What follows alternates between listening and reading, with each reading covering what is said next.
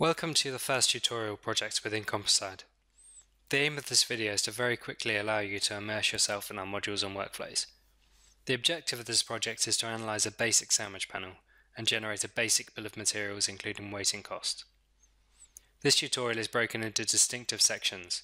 We encourage you to follow it at your own pace, replicating the design steps. Let's start in project space. This is where all your project and product data is stored, including bill of materials and analysis settings. Right-click on the project's name and select Duplicate Project. And select it in the Project Navigator. We can rename this project by selecting Edit Settings, viewed by right-clicking on the project.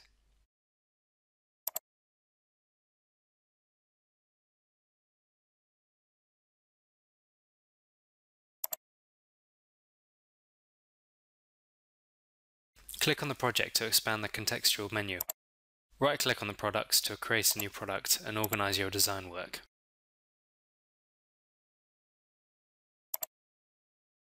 Let's start by selecting our materials to be used in the project.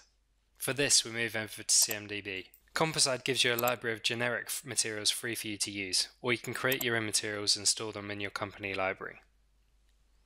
The material library is data provided by CompoSIDE, which can be used across your projects. Company materials is your private materials library, which can be used across your projects.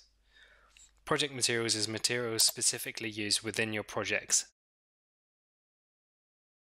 For this sandwich panel, I would like to have a skin comprising of two plies, a carbon UD and a carbon biaxial ply, with a core of a, density of 115 kilos per meter cubed.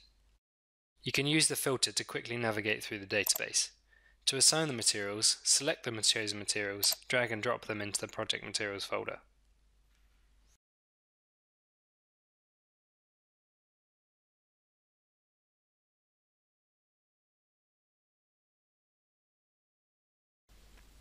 Now you're ready to start laminate design in Laminate Space. We can close the CMDB window and access the Laminate Space module.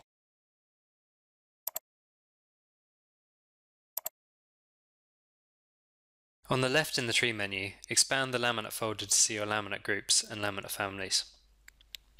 You can also access global loads from this tree, but let's skip the global loads for now. To create a laminate, right-click on Laminates and select Create Laminate Family. The laminate family creator will appear and prompt for a laminate family name, fiber type and manufacturing type. The fiber and manufacturing types are used downstream, defining usage and wastage factors, and also certification requirements. For this project, standard settings will be applied. To learn more about how to define your own usage and wastage factors, please refer to the Bill of Materials settings tutorial.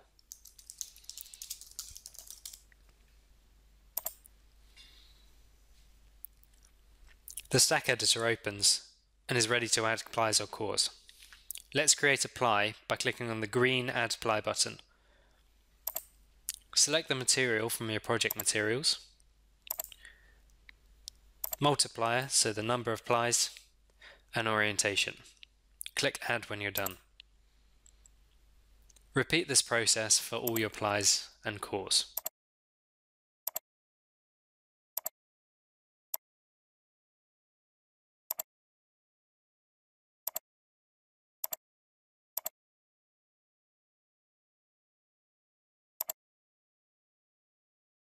Now we've defined our outer skin and core, we can define the sequence type.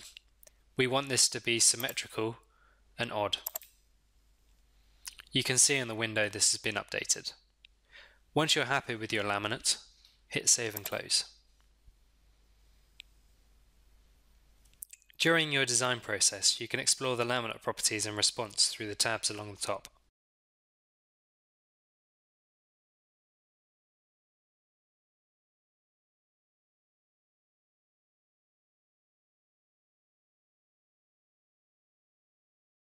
Now you have your laminate defined, we can move into analysing the laminate by using it in a 2D section or a 3D component.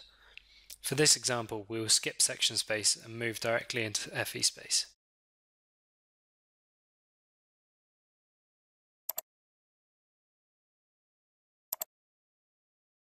In the FE space module, we use our product, which you defined earlier in the project space. Expand this to see the folder structure. You can add as many folders as you require to any product, available by right-clicking on the product or topology group. For now, we will use the folder named group to keep our FE model in. Right-click and create FE model. Let's call it curved sandwich panel.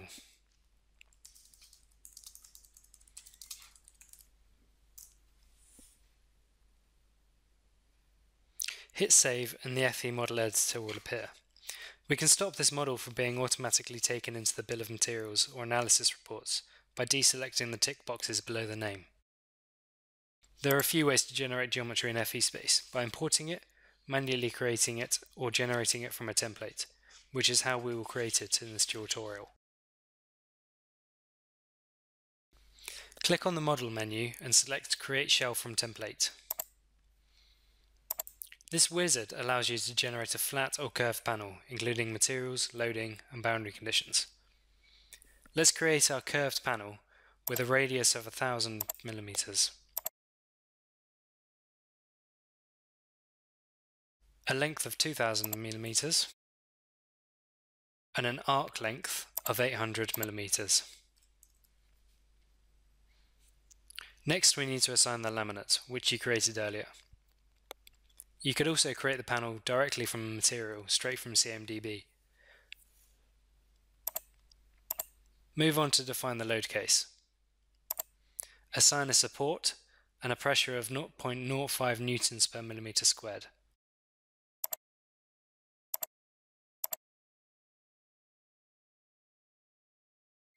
This will be generated at the origin of the model, but you can use the Position tab to translate the panel as required. Click Create. CompoSIDE has generated your shell, boundary conditions and loads automatically. To edit the laminate, expand the Structural Elements folder. This is where your shells and beams are organized. Expand the stack and click on Apply to view the orientation. Next we have to mesh the model. Click on the Mesh button on the bottom toolbar. You are able to optimize the mesh. Refer to the FE Space meshing tutorials for more information. For this model, it should be good enough to get you started.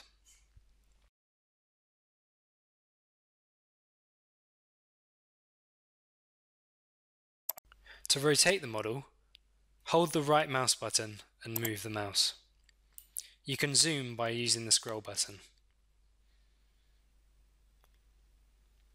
You can view a load case by expanding load cases and clicking on the load case.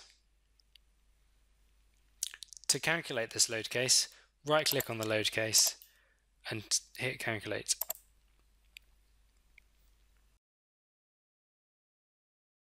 The task will be sent to our solver and will be stored and available for you to view in the tree.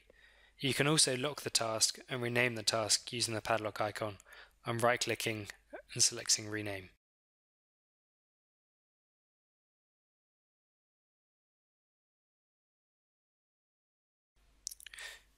Click on the task to view the results.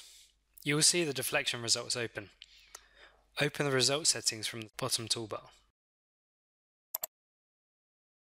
You can view the nodal, element and reserve factor results in here. For now we will just check the reserve factors. Hit calculate and the reserve factors will appear. From here you can further optimize your laminar geometry. For now though, we're okay with the results. Exit the results by going back into the edit mode on the bottom toolbar. Save the model and exit.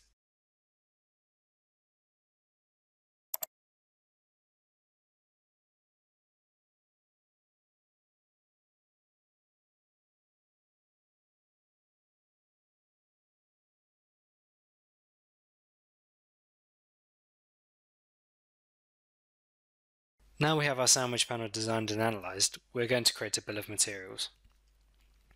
Exit FE space and open the BOMGen module. You will see your products in the first window. This will allow you to organise your project into different products, allowing versioning or a quick comparison between two or more products. Click Generate to create a bill of materials for your product. You can see the total product material quantities and cost in the main screen. This has been automatically generated from the FE Models mesh. If you make a modification to an element, you can bring in the latest data by clicking the orange Update with Source button in the top right. There are many functionalities within BOMGen, including manual element creation such as surface elements, bondings, reinforcements and beams. We will generate a laminate table and BOMGen report based on our FE model. Right click on the group and selects Export Laminate Table.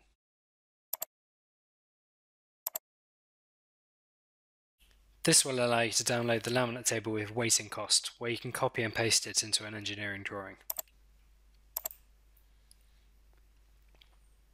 We can generate a report within CompoSIDE with a standard format, allowing you to share and version the product's bill of materials with a revision number and date. We will go into report space to do this, but it can also be generated from BOMGen. Exit BOMGen and select the report space module. Report Space is a versioning tool, allowing you to create laminate space reports, BOMGen reports, section space reports, and YachtsCamp reports. Share and control versioning of the reports. Right-click on the BOMGen reports folder and click Create Report. Give the report a name, select the product, and choose the report template.